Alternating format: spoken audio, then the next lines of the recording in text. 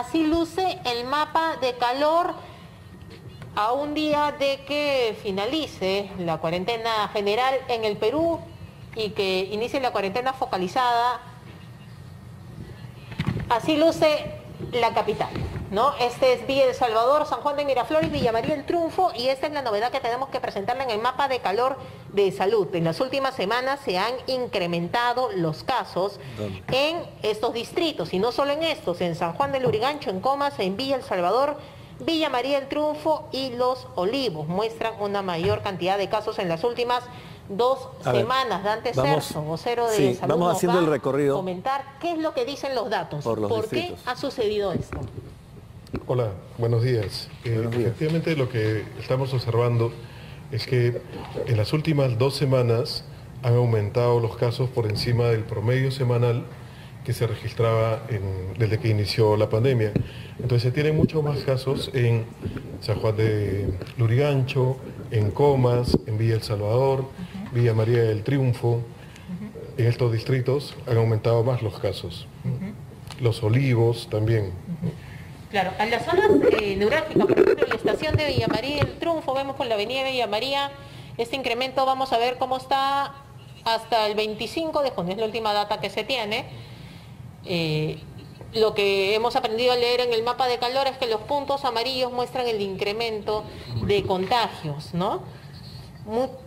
ha migrado el, virus, ¿no? Antes, en semanas anteriores hablábamos mucho de la victoria, pero esto ha cambiado, esto ha cambiado. Estamos hablando de los distritos con contagio. Vamos a los números, por favor, para mostrar, se, sabe el incremento de casos, pero ¿qué es lo que dicen las datas? ¿no? Por favor, eh, doctor Cerzo. Bueno, lo que tenemos es que San Juan del Lurigancho, por ser el distrito más populoso, sigue teniendo la mayor cantidad de casos confirmados, con más de 14.000. 14.000 casos, 106 personas contagiadas por kilómetro cuadrado. ¿No? 13 por cada mil habitantes. 13 por cada mil habitantes, pero en Cercado de Lima esto cambia. 48 personas contagiadas por mil habitantes, ¿no?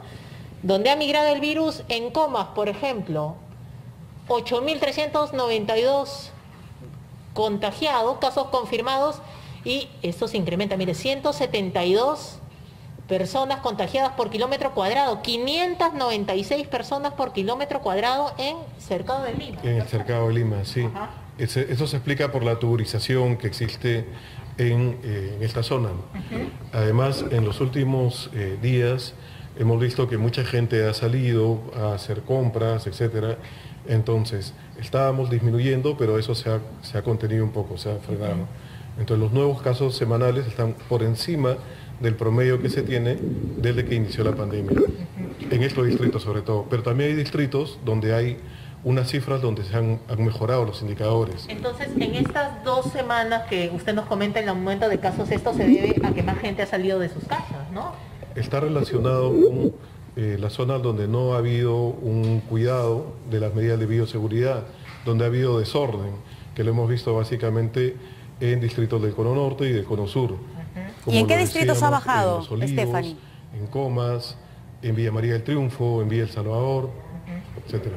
Ahora vamos a contestar tu pregunta, Verónica, por supuesto una vista donde se muestra más estable o incluso que disminuye el virus, ¿no? Lo vamos a decir en este momento. La punta, Pucusana, Punta Hermosa, Magdalena y Miraflores, ¿no?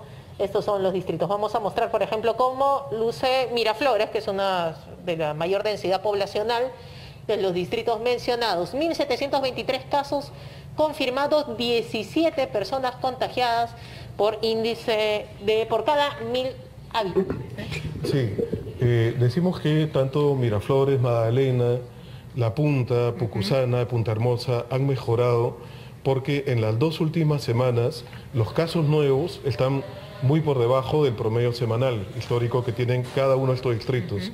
Además, para la población que tienen, eh, se, se, encuentran muchos mejores indicadores, sobre todo en la punta, que incluso no se han registrado nuevos casos en las dos últimas semanas.